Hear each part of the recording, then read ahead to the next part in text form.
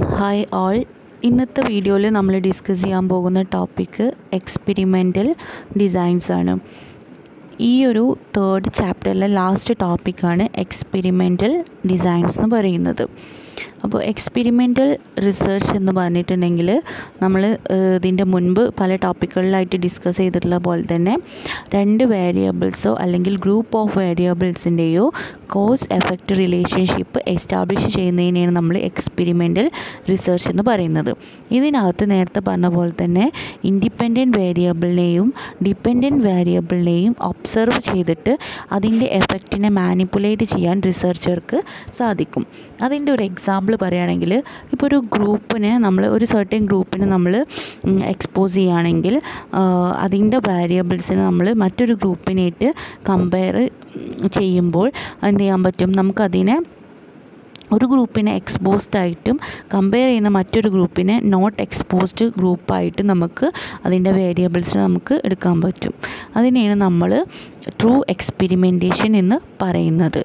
അതായത് true experimentation എന്ന് പറഞ്ഞു കഴിഞ്ഞാൽ സയന്റിഫിക് ആയിട്ടുള്ള മെത്തേഡിൽ നമ്മൾ കോസ് എഫക്റ്റ് റിലേഷൻഷിപ്പ് ഐഡന്റിഫൈ ചെയ്യുക. ഒരു ഗ്രൂപ്പ് ഓഫ് വേരിയബിൾസിന്റെ കോസ് എഫക്റ്റ് റിലേഷൻഷിപ്പിനെ സയന്റിഫിക് ആയിട്ടുള്ള മെത്തേഡിൽ നമ്മൾ ഐഡന്റിഫൈ ചെയ്യുന്നതിനാണ് നമ്മൾ ട്രൂ എക്സ്പെരിമെന്റേഷൻ എന്ന് പറയുന്നത്. അപ്പോൾ ഒരു റിസർച്ചറിനെ സംബന്ധിച്ചിടത്തോളം അയാൾ എത്രത്തോളം എഫേർട്ട് എടുക്കുന്നോ ഈ ഒരു വേരിയബിൾസിനെ കൺട്രോൾ ചെയ്യാൻ വേണ്ടിയിട്ട് ഒരു വേരിയബിളിനെ മറ്റൊരു വേരിയബിളിനായിട്ട് കമ്പയർ ചെയ്യുന്ന സമയത്ത് ബീങ് മാനിപ്പുലേറ്റ് ആവാതിരിക്കാതെ കൃത്യമായിട്ട് ചെയ്യുന്നുവോ അപ്പോഴാണ് എന്താവുന്നത്? അതിന്റെ ആ ഒരു സക്സസ് കറക്റ്റായിട്ട് വരുന്നത്. അപ്പോൾ the effect of the independent variable on the dependent variable are collected and analyse for a relationship independent വേരിയബിളിനെ ഡിപ്പെൻഡന്റ് വേരിയബിളിനെയും കൂടി എടുത്തിട്ട് അതിന്റെ എഫക്ട്സിനെ കളക്ട് ചെയ്തിട്ട് അത് തമ്മിലുള്ള അനാലിസിസ് നോക്കലാണ് പ്രധാനമായിട്ടും ഇതിനകത്ത് വരുന്നത്. എന്നിരുന്നാലും ഇപ്പോൾ നമ്മൾ സാധാരണയായിട്ട് പ്രധാനമായിട്ട് യൂസ് ചെയ്യുന്നത് സൈക്കോളജിക്കൽ പേർപ്പസിനാണ് ഇത് യൂസ് ചെയ്യുന്നത്. അതായത് education പേർപ്പസിന് criminal justice journalism marketing nursing political science social work sociology related ആയിട്ടുള്ള പേർപ്പസിനാണ് പ്രധാനമായിട്ടും നമ്മൾ ഈ ഒരു എക്സ്പെരിമെന്റ് യൂസ് ചെയ്യുന്നത്. അപ്പോൾ ഈ ഒരു എക്സ്പെരിമെന്റൽ റിസർച്ച് എന്ന് പറഞ്ഞിട്ടുണ്ടെങ്കിൽ റിസർച്ചർക്ക് ആ ഒരു റിസർച്ച് സിറ്റുവേഷനായിട്ട് പ്രോപ്പർ കൺട്രോൾ ഉണ്ടായിരിക്കുന്ന ഒരു സമയമായിരിക്കും.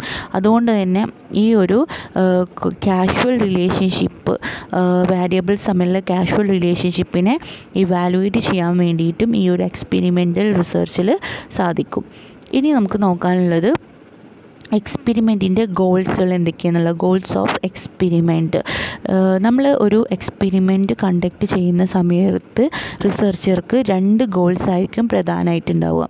അതിൽ first വണ്ണാണ് to draw valid conclusion about the effect of independent variables and dependent variables independent വേരിയബിൾസിന്റെയും dependent വേരിയബിൾസിന്റെയും കൃത്യമായിട്ടുള്ള ഒരു വാലിഡ് കൺക്ലൂഷൻ ഉണ്ടാക്കുക എന്നുള്ളത് അതിന്റെ എഫക്റ്റിന്റെ വാലിഡ് കൺക്ലൂഷൻ ഉണ്ടാക്കുക എന്നുള്ളതാണ് ആദ്യത്തത്. അതിനെയാണ് നമ്മൾ ഇന്റേർണൽ വാലിഡിറ്റി എന്ന് പറയുന്നത്. അപ്പോൾ അടുത്തത് എന്തായിരിക്കും? എക്സ്റ്റേണൽ വാലിഡിറ്റി എക്സ്റ്റേണൽ വാലിഡിറ്റി എന്ന് പറഞ്ഞിട്ടുണ്ടെങ്കിൽ it to make valid generations to a larger population of interest ഒരു വലിയ പോപ്പുലേഷന്റെ ഒരു യൂണിവേഴ്സിന്റെ ഇൻട്രസ്റ്റ് കണക്കിലെടുത്തിട്ട് ജനറലൈസേഷൻ നടത്തുന്നതിനെയാണ് എക്സ്റ്റേണൽ വാലിഡിറ്റി എന്ന് പറയുന്നത്. അപ്പോൾ ഇന്റേർണൽ വാലിഡിറ്റി വാരിയബിൾസിനെ ഡിപ്പെൻഡ് ചെയ്തിട്ടും എക്സ്റ്റേണൽ വാലിഡിറ്റി പോപ്പുലേഷനെ ഡിപ്പെൻഡ് ചെയ്തിട്ടുമാണ് പ്രധാനമായിട്ടും വരുന്നത്. ഇനി ഇന്റേർണൽ വാലിഡിറ്റിന്റെ ഡീറ്റെയിൽഡ് ആയിട്ടുള്ളത് എന്താണെന്നുള്ളത് നോക്കാം.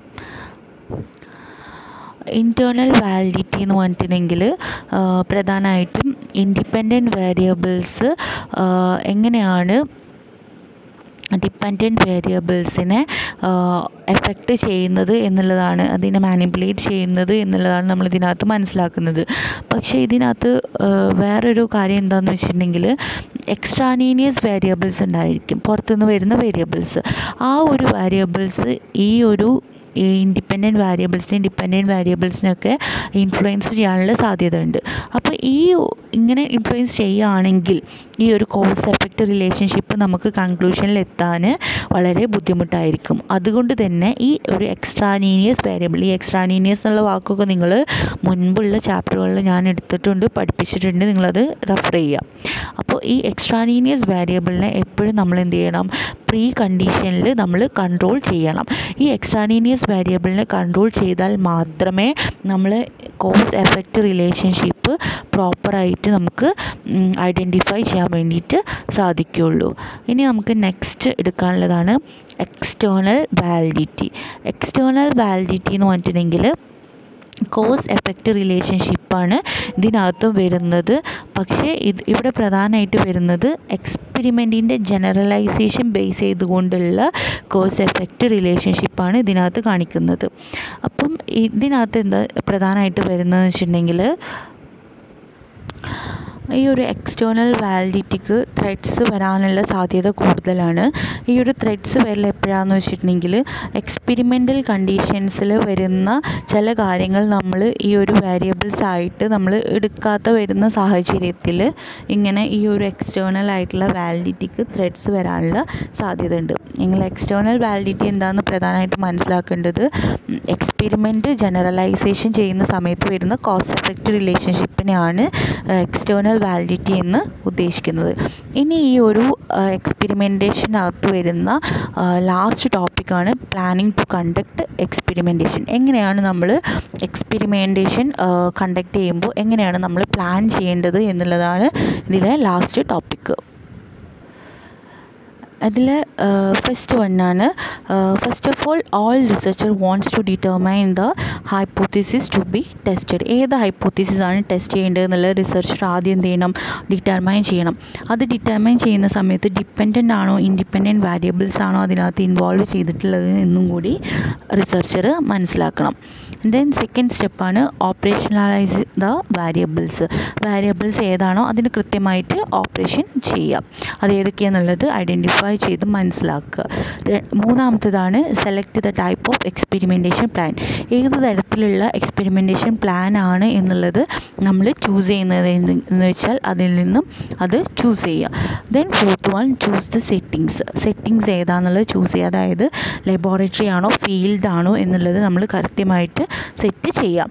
Then fifth one make the experimental condition as near as the expected real life condition നമ്മൾ റിയൽ ലൈഫിലെ കണ്ടീഷനുമായിട്ട് ചു ചു മാച്ച് ആവുന്ന രീതിയിൽ നമ്മൾ എന്ത് ചെയ്യണം? എക്സ്പെരിമെന്റൽ കണ്ടീഷനെ നമ്മൾ മേക്കപ്പ് ചെയ്ത് എടുക്കണം.